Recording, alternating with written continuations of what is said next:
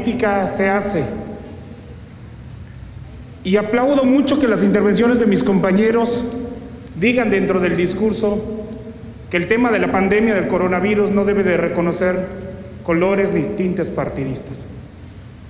Sin embargo, dentro de los mismos discursos señalan, y aquí no hay que tener espantos ni por supuesto regateos políticos. Aplaudo, por supuesto, siendo de la fracción parlamentaria de Morena, todas las decisiones a favor que haya tenido el gobierno del Estado a favor de los quintanarroenses. Pero también el decir hoy que debemos de dar un reconocimiento me pareciera demasiado adelantado y me pareciera que de verdad nadie en este momento se debería sentir merecedor de una felicitación. Le hemos fallado a Quintana Roo y eso es lo que me parece. Me parece que le hemos fallado porque hoy hay muchas familias quintanarroenses incompletas, porque hay familias que sufrieron la pérdida de un ser querido, que muchos de ellos son gente o fueron gente cercana nuestra, conocidos nuestros, y que esas familias no tuvieron ni siquiera la oportunidad por las mismas condiciones de esta enfermedad, de despedirse.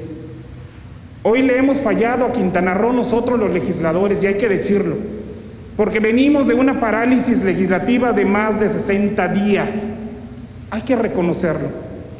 Hoy le siguen fallando el sistema de salud a los quintanarruenses y sobre todo a quienes trabajan en las unidades médicas porque tampoco podemos ser ciegos, ni sordos, ni mudos al ver las reacciones y manifestaciones de médicos, químicos y enfermeros que han tenido de manera valiente la oportunidad de señalarlo quizás en redes sociales, la falta de instrumentos para su propia seguridad. Yo les reto a todos y cada uno que nos pongamos en sus zapatos un solo momento e imaginemos que somos nosotros los médicos del área de COVID, que tenemos que ir a atender a otros quintanarruenses en este momento y a ver si no sentiríamos miedo, pánico, pavor de quizás no ser contagiados, pero sí poder contagiar a nuestras familias.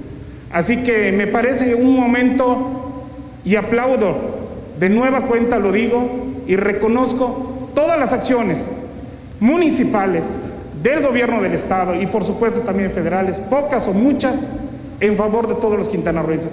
Por supuesto que todos los niveles quedamos cortos ante las muchas necesidades que tienen los quintanarroenses. No solamente es el tema de salud, es el tema económico, es el tema que nos pega también en lo social, en todos los ámbitos. Hoy necesitamos estar unidos para darle frente y mayores resultados a los quintanarroenses. Muchas gracias.